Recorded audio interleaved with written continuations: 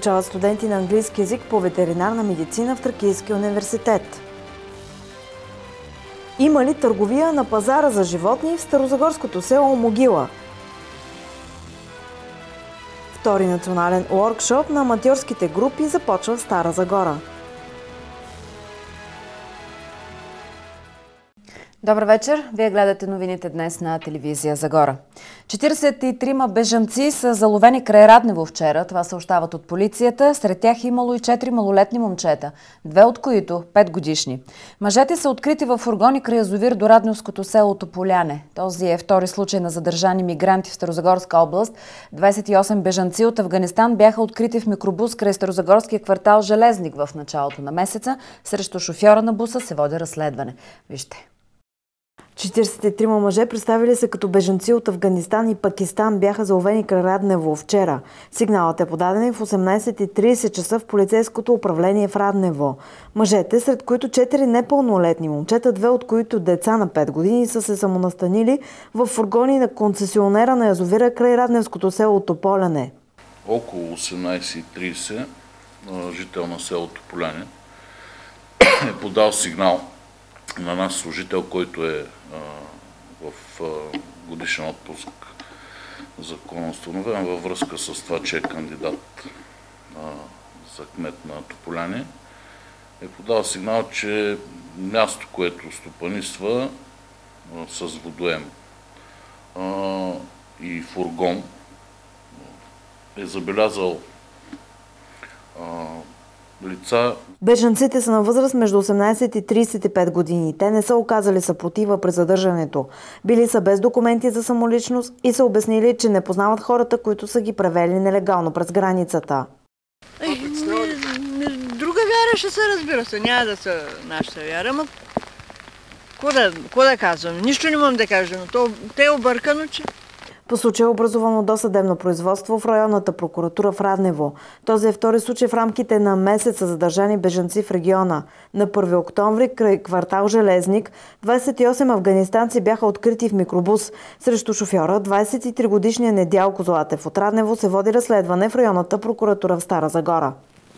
Започва обучение на студенти по ветеринарна медицина на английски язик. Това съобщи временно изпълняващия длъжността ректор професор Иван Въшин. Обучение на английски язик се извършва до момента в специалност медицина в Тракийския университет. Интересът продължава да е голям, признават от ръководството на Старозагорската Алма Матер. Кампанията за избор на ректор на университета стартира на 4 ноември. От тази година студенти по ветеринарна медицина ще бъдат обучавани на английски язик. Това съобщи временно изпълняващия длъжността ректор професор Иван Въшин. До сега в Такийския университет обучение на английски се извършваше само специалност медицина.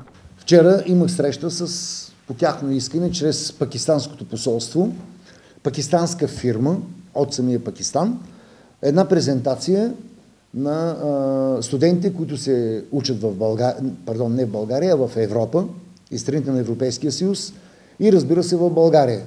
В момента от Пакистан в България се, из... се учат 5 човека студенти.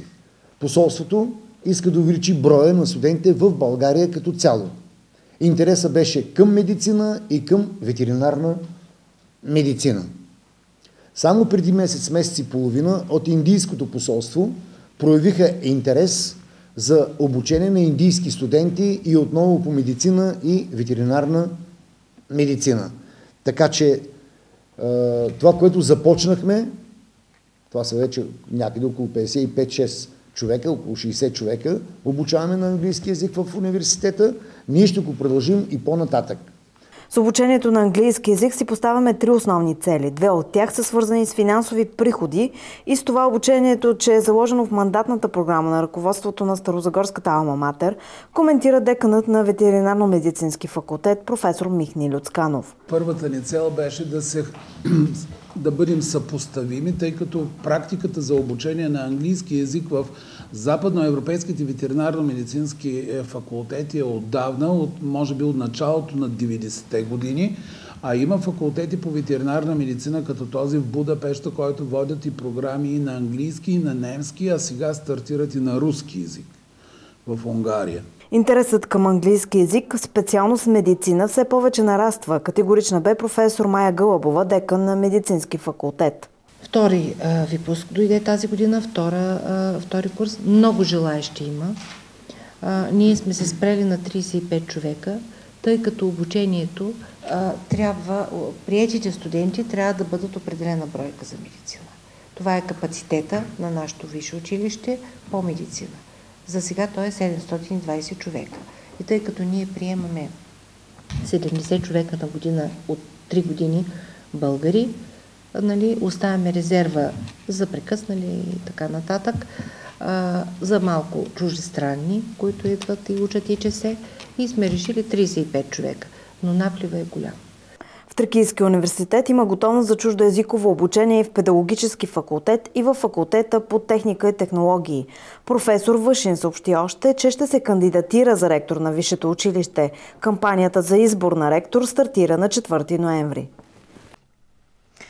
Пазарът за животни в Старозагорското село Могила не е това, което беше. Днес там търговия почти няма, а местните живеят с носталгия по доброто старо време, когато стопани отблизо и далеч се събирали за да купуват или продават. Утре предстои среща между ръководителите на областна дирекция по безопасност на храните и на звено общински пазари. Една от темите – състоянието на пазара. Вижте още. Село Могила край Стара Загора. Спокоен преди обед, тук-там хора. Едно от най-оживените места до преди години също е тихо, само кучетата пазачи сигнализират, че обектът има стопани и функционира. Пазарът се пази от общинската охрана. Така изглежда пазарът за животни в Старозагорското село Могила. От тук ни обясниха, че той работи всяка събота от 7 сутринта до 13 часа. От областната дирекция по безопасност на храните също казаха, че пазарът работи в събота. Има забрана единствено за продажба на прасета. Тук се извършва непрекъснато контрол, обясни доктор Радка Манолова, шеф на дирекцията.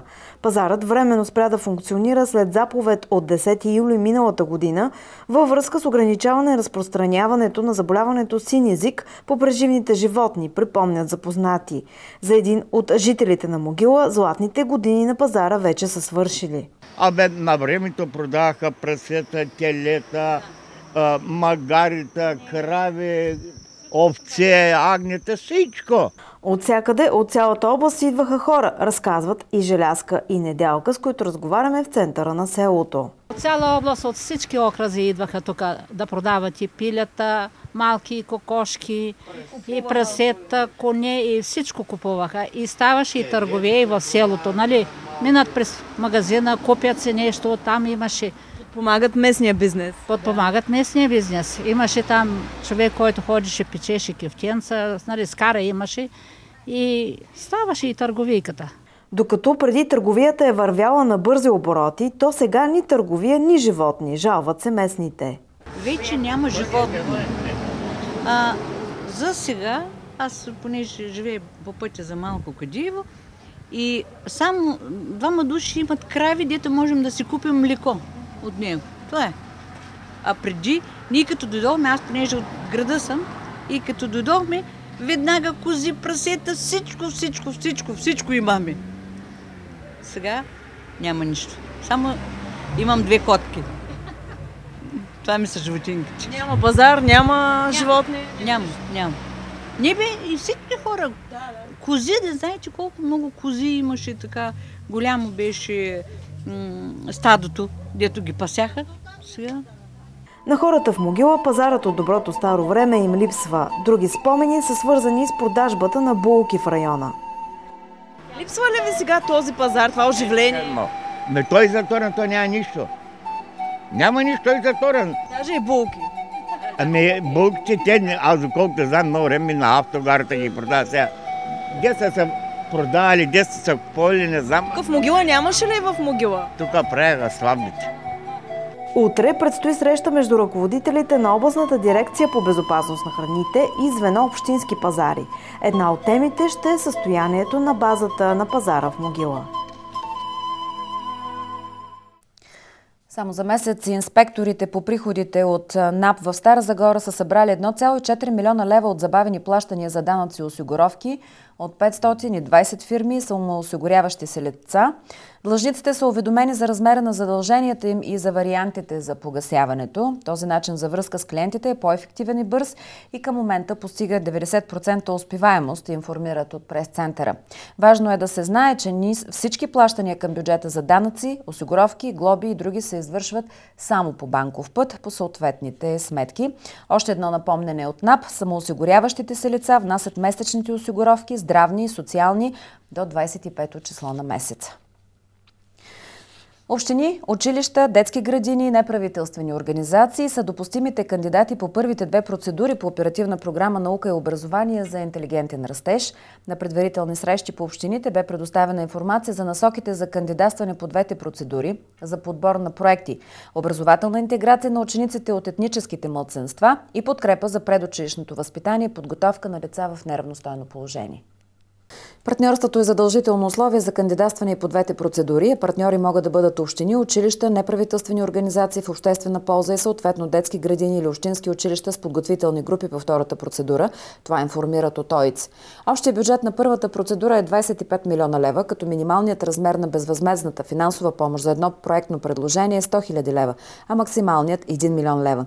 Процедурата е с два срока за подаване на проекти 30 ноември и 29 април 2016.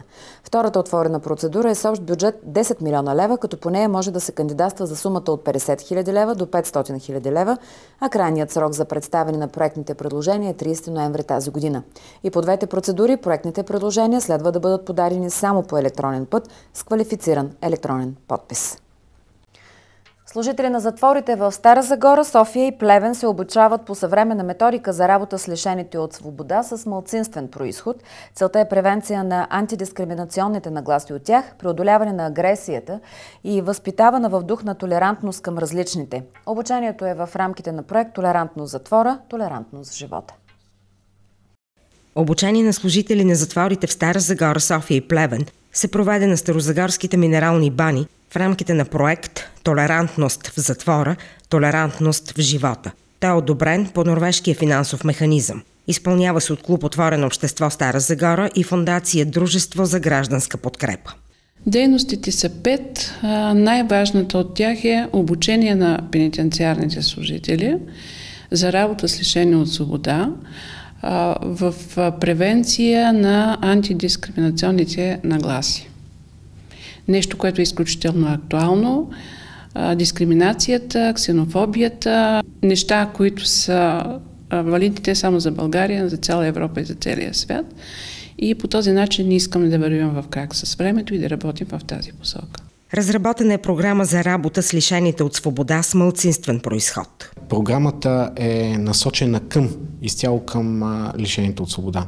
Тоест, служителите на главна дирекция изпълнение на наказанията, психолози, социални работници, колектива, който отговаря за надзорната дейност, да се приучат на специфични техники в прилагането на тази програма, посредством които да променят нагласите и стереотипите в лишените от свобода. В тая програма, съответно, и самите обучаеми на този етап служители на главната дирекция пък се сблъскват до някъде в по-голяма или в по-малка степен и със собственици нагласи. Една от основните цели на проекта е изграждане на толерантно отношение от страна на лишените от свобода. Да променим техните нагласи към различните, да направим едно, една преработка на агресивните преддиспозиции в лишените от свобода и по този начин да се научат те да приемат различните, да бъдат толерантни и след като в условията на един затвор това може да се постигне, има такива индикации, много по-лесно ще бъде, когато бъдат освободени от затвора, те да бъдат толерантни към различните. Резултатите от проекта ще бъдат обобщени в заключителен доклад, който ще бъде отпечатан и разпространен сред служителите на главна дирекция изпълнение на наказанията. Стара Загора пристигнаха първите два соло автобуса, произведени от Соларис Полша и първите два съчленени автобуса от Сор Липхави, Чехия, съобщават от общината.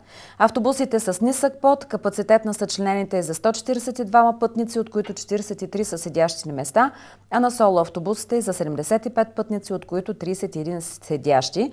Обновяването на автобусния парк е по проект за модернизация и развитие на устойчив градски транспорт, финансиран по оперативна програма. Утре предстои демонстрация на новите автобуси. Стара Загора ще е домакин на втория национален workshop на аматьорските трупи. Проявата започва утре от 18.30. Организатор е Младежка театрална студия Сцена 99 при Народно читалище Родина. Стара Загора е в навечерието на втори национален уоркшоп на аматьорските трупи «Репетиции при отворени врати». Уоркшопът ще започне утре от 18.30 часа. Организатор е Младежката театрална студия «Сцена 99» при Народно читалище Родина. Всяка от трупите ще получи възможността да покаже част от своя продукция и методите си на работа в рамките на 30-40 минути. Наш екип завари част от участниците и организатора, актьора Христофор Нетков, в репетиционната зала на читалище читалище Родина. Това ще бъде една, се оказа, тристранна среща между групи от е, нашите от Стара Загора, от Бургас и от Казанлък.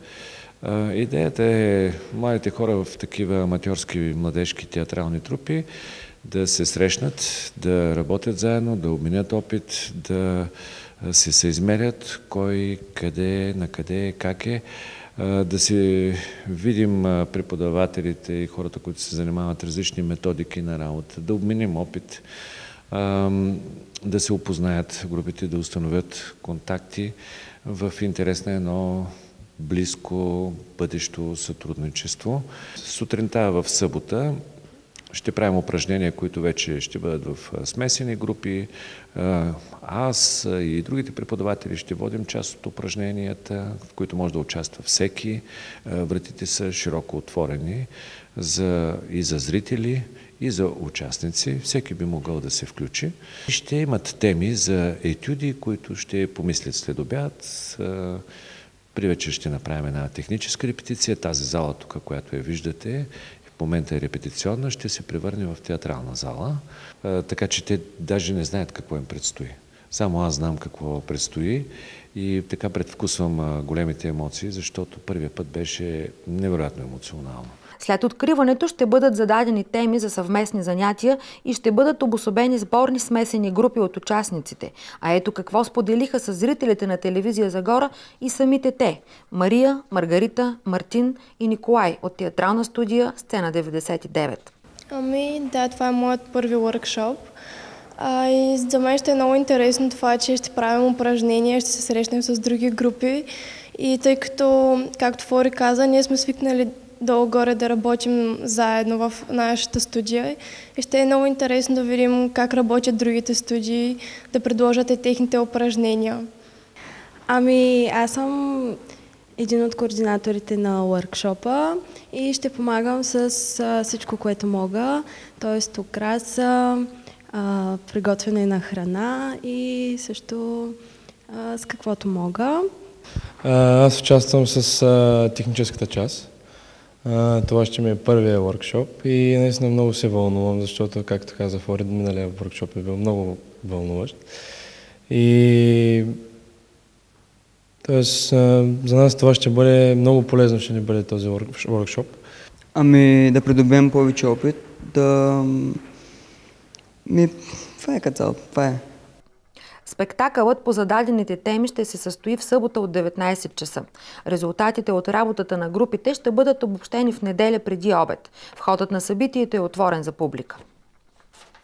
Камино де Сантьяго гостува днес в къщата под звездите в Стара Загора. Камино де Сантьяго е книга, феномен на автора Радослав Стефанов, която повече от едно десетилетие привлича със своята магическа сила крале, папи и милиони обикновени хора, търсещи изцерение, отеха и съвършенство.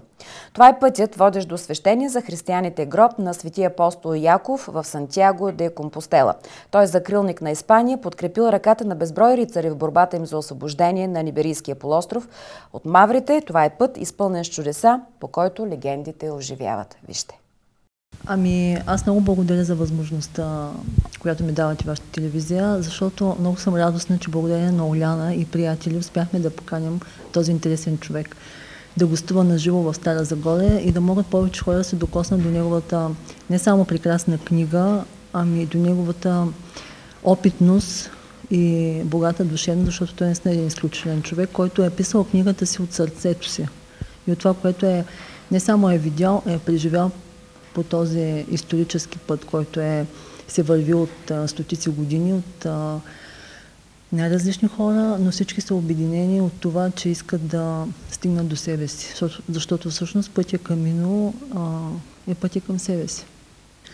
Книгата е много интересна. Тя на пръв поглед изглежда като книга, която описва много подробно нали, самия път, откъде трябва да се мине. Като един а, пътеводител, но всъщност това е само на повърхността. Зад, кни... Зад а, редовете, всъщност човек, който иска да прочете по-дълбоко, може да, да се докосне до преживяванията на автора, до, и, т.е. те са писани от първо лице, той го е преживял, да направи свои собствени прозрения и дай Боже да реши всеки да тръгне по този път наистина. Сега ред на спортните новини. Приятна вечер от мен.